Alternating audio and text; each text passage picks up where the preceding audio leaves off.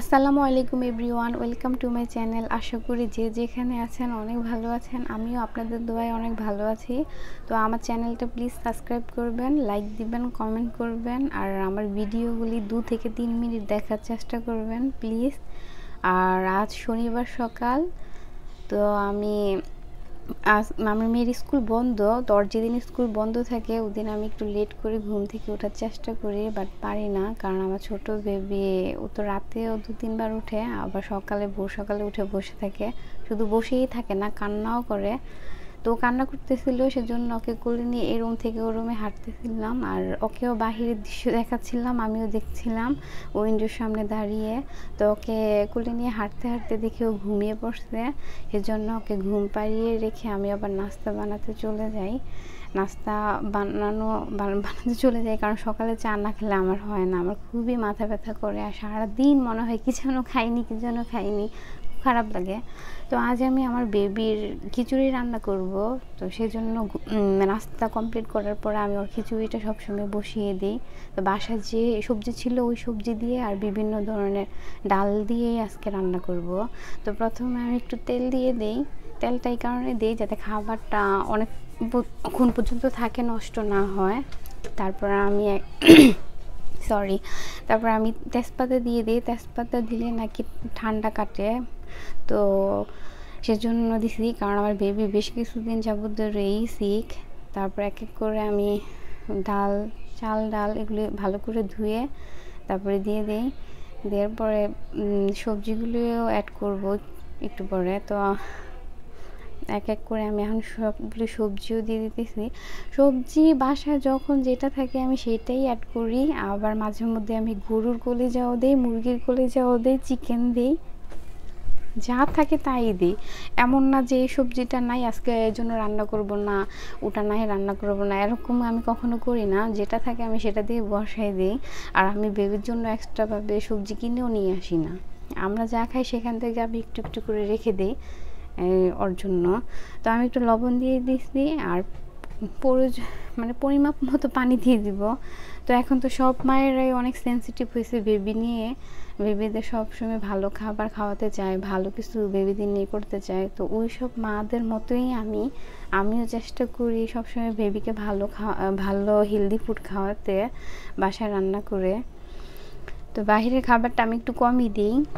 আমি আমার মেয়েকে ওইভাবে রান্না করে খাওয়াতাম। বিভিন্ন ধরনের সবজি, কখনো মাছ, কখনো কলিজা, কখনো ডিম, এগুলি অ্যাড করে করে আমিও বাসায় খাওয়াতাম। তো আমি এদিকে খিচুড়ি বসিয়ে দিয়ে অন্য অন্য কাজগুলো যা আছে ওটাও সেরে নিব। তো এটা আমি একটু পরে ঢেকে দিব। ঢেকে দিয়ে আমি পেঁয়াজ পেঁয়াজ কেটে নিব। এখন আমি পেঁয়াজগুলি সব ক্লিন করে নিছি, ভালো করে ধুয়ে নিছি। তো এগুলি আমি আস্তে আস্তে কাটবো।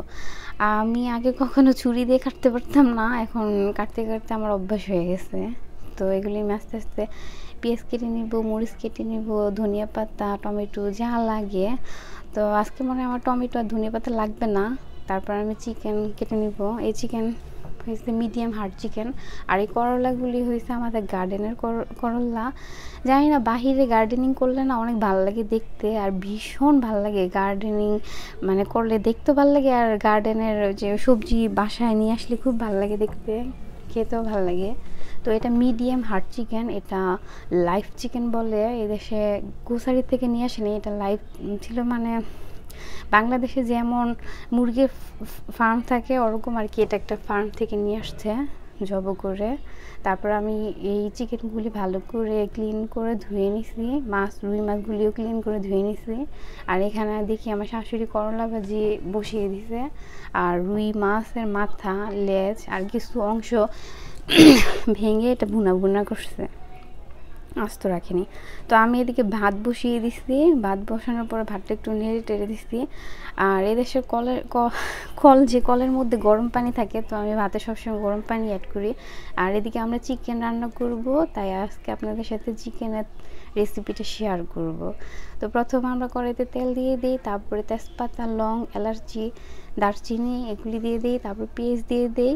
তো পেস্ট দেওয়ার পরে এটা সে পেস্টটা তো আমি আগেই বলছি, এটা মানে সহজে কালার আসতে চায় না। তো একটু টাইম নিয়ে ভাজতে হয়, যাতে একটু ব্রাউন কালার আসে। তো একটু ব্রাউন কালার আস, আসবে যখন, তখন আমরা এক এক করে মশলা দিয়ে দিব। ততক্ষণ পর্যন্ত আমরা নাড়তে থাকি আর কি মানে নাড়াচাড়া করছি। তো এক এক করে আমি মশলা দিয়ে দেব। প্রথমে আমি আদা বাটা দিব। আদা বাটা। সরি এটা রসুন বাটা। এক টেবিল চামচ রসুন বাটা, এক টেবিল চামচ আদা বাটা। তারপর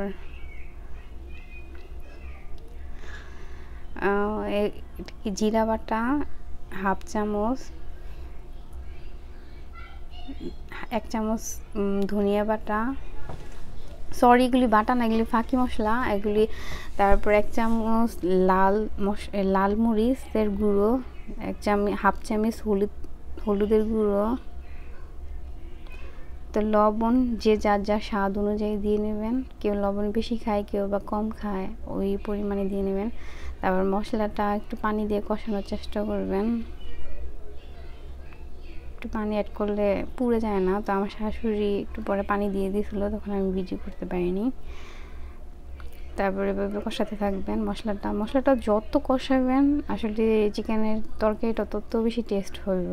শুধু চিকেন না, যে কোনো তরকারি অনেক বেশি টেস্ট হয়। কষা, কষানোর মধ্যে অন্যরকম একটা টেস্ট তো এক এক করে মুরগি যে ধুয়ে রেখেছিলাম আমি, ওগুলি দিয়ে দিছি পাতলাতে কষা মশলা কষানোর পরে।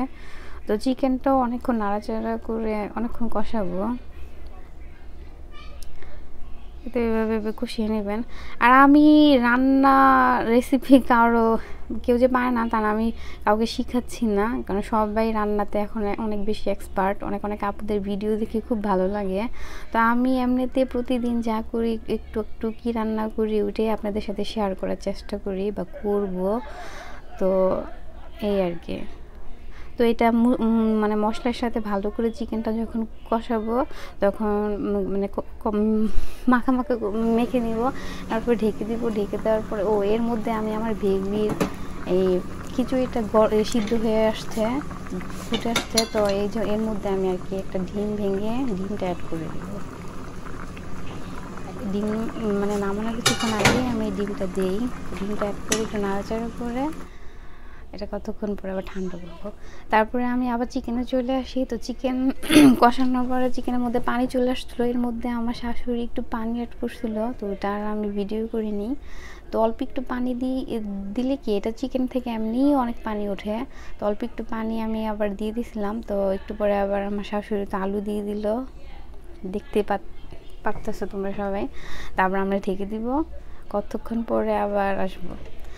তো চিকেনের পানি অনেকটা শুকিয়ে শুকিয়ে গেছে, সেজন্য আমরা আরেকটু পানি অ্যাড করব। কারণ এই চিকেনটা তো বলছিলাম মিডিয়াম হার্ড তো পুরোপুরি সিদ্ধ হয়নি, হয়তো আর একটু সিদ্ধর জন্য লাগবে। আর আমি মাখা মাখা তরকারিটা অনেক পছন্দ করি, কিন্তু আমার হাজব্যান্ড আমার শ্বশুর ঝোল ঝোল তরকারিটা বেশি পছন্দ করে। তো সেজন্যই আর কি ঝোলটা রেখে দিবে। আর চিকেনের সাথে আলু দিয়ে একটু ঝোল রাখলেও মাঝে মাঝে খারাপ লাগে না, তো আমার মাখা মাখা তরকারি বেশি পছন্দ, ভুনা জাতীয় তরকারি। তা আমার জামাই আবার উল্টা। ও ঝোল অনেক পছন্দ করে তরকারিতে। তো এরপরে আমরা টালা জিরা আর একটা শাহি জিরা বানাইছে আমার শাশুড়ি। তো এটা আমি পরে আপনাদেরকে দেখিয়ে দিব বিভিন্ন ধরনের মশলা দিয়ে। তারপরে এখানে আমরা গুলমরিচের গুঁড়ো দিয়ে দিতেছি পেপার। তো একটু পরে আর কি নামিয়ে নিব। তো লাস্ট লুক এটা এরকম, দেখতে এরকম হয়েছে। খেতে অনেক মজা হয়েছিল, অনেক মজা। কারণ এটা এই যে গোসারির থেকে চিকেন না কিনে লাইভ চিকেন কিনলে বেশি টেস্ট হয়, ওটা অনেক টেস্ট হয়। তারপরে আমার, এদিকে আমি আমার বেবির খাবারের দিকে আবার চলে আসলাম। আমার বেবির খাবার ঠান্ডা করে নিব, ঠান্ডা করে আমি একটু পরে ব্যালেন্ডার করে নিব। তো একটু কুমকুমা ঠান্ডা হয়ে গেছে, পরে আমি এখানে ব্যালেন্ডারের মধ্যে ঢেলে দিচ্ছি খুব বেশি ঠান্ডা করে নিতে হয় না, যে অনেক ঠান্ডা করে নিতে হবে এমন। তো হালকা গরম থাকা অবস্থায় আমি ব্যালেন্ডার করে নিব।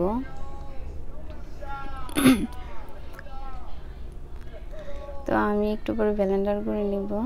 কারণ আমার বাচ্চার তো দাঁত হয়নি, নয় মাসের বাচ্চার আর কি হইব? তো ওদের তো ব্যালেন্ডার করে খাওয়াতে হইব। তো এদিকে আমি ব্যালেন্ডার করে নিছি, তারপর এই লুকটা আসলো। দেখতে কিন্তু খারাপ লাগতেছে না, হলুদ যে দিয়ে নিই, তাও অত খারাপ লাগতেছে না দেখতে। আর এই তো। ওর জন্য বাটিতে করে একটু নিয়ে নিছি, একটু পরে খাওয়াবো। তো এর মধ্যে রান্না করতে করতে সব গৃহিণীরাই জানে, একটু থালা বাসন জমে যায়। তো এদিকে আমাদেরও কিছু জমে গেছিল, তো আমি আবার এটা ওয়াশ করে নিতেছি।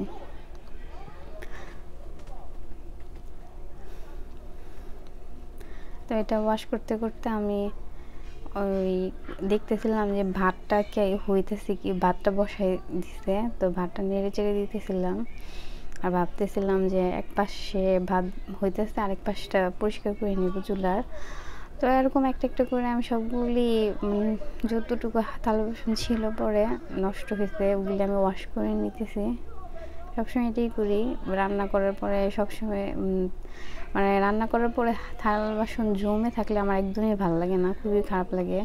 আর নোংরা দেখা যায়। তো রান্না হওয়ার সাথে সাথে আমি চেষ্টা করি থাল, বাসন, তারপর চুলা এগুলি ক্লিন করতে। তো ওই পাশে ভাত হইতেছিল ওই সাইডে তো আমি এই সাইডটা পরিষ্কার করে ফেলতেছি। কারণ আমি ওই পাশে ভাত হইব, ওটার জন্য অপেক্ষা করে থাকতে পারি না। কারণ আমার ভেবে আসি একটু পর পর কান্না করে। তো আমি যখন যে কাজটা পাই মানে একটু গুছিয়ে করার চেষ্টা করি, কতটা পারি আমি জানি না, চেষ্টা করি। তো ওই পাশে ভাত হইতেছিল দেখে এই পাশটা আমি ক্লিন করে ফেলছি। দাঁড়ায় থাকি না। তো এই ওই পা তারপর দুই পাশে পরে ক্লিন করে এই অবস্থায় এসে সুন্দর একটা লুক এসে তারপর সারাদিন আজকে আমরা যা রান্না করলাম, ওইটাই আপনাদেরকে একটু একটু ঘুরে ঘুরে দেখাচ্ছি। এটা মাছ, রুই মাছের ঈদে রান্না করেছে করলা ভাজি আর মুরগির মাংস তরকারি। এগুলি আজকে আমার আমাদের দুপুরে খাবার ছিল। আর এদিকে আমার বেবি একটু প্লে করতেছিল, তো ওকে আর কি খাওয়ানো খেলার ছলে একটু খাওয়ানোর চেষ্টা করতেছিলাম। ও একদমই খেতে চায় না। তো সবসময় এক খাবারও বাচ্চারাও লাইক করে না, সেজন্য মাঝে মধ্যে একটু ব্যতিক্রম খাবার দিলেও হয়তো দেখা যায় লাইক করে। তো আমার মেয়ের অনেকগুলি হোমওয়ার্ক দিছে। প্রতিদিন ওদের স্কুল থেকে অনেকগুলি করে হোমওয়ার্ক আসে। তো এগুলি দেখতেছিলাম যে কী দিছি, কীভাবে কী করতে হবে। তো আমি আমার মেয়েকে ভালো করে সময় দিয়ে পড়াতে পারি না। কারণ আমার ছোট বাচ্চাটা এমন টানাটানি করতেছিল, অনেক বিরক্ত করতেছিল, এটা নিবে ওটা নিবে, ধরবে, এটা ছিঁড়বে এমন করে। তো ও ঘুমালে মাঝে মধ্যে ওকে পড়াই বাই করি, ওরকম ওকে আমি আগে যেমন সময় দিতে পারতাম, বসে রাখতে পারতাম, ওরকম পারি না। তো যতটা সম্ভব চেষ্টা করি ওর পড়াও যাতে কমপ্লিট হয় বা ও যেন পড়ে। ওগুলি চেষ্টা করতেছে, ও রাগ হয়ে গেছে ওর ভাইয়ের উপর। সেই জন্য এরকম করতেছিল। আর পরে ওই মানে বই টুয়ে গুছায়া রাখতেছিল আর কি, রাগ হয়ে গেছে ওর ভাইয়ের উপর যে তুমি এমন করতেছো না আমি পড়তে পারি না, এরকম করে রাগ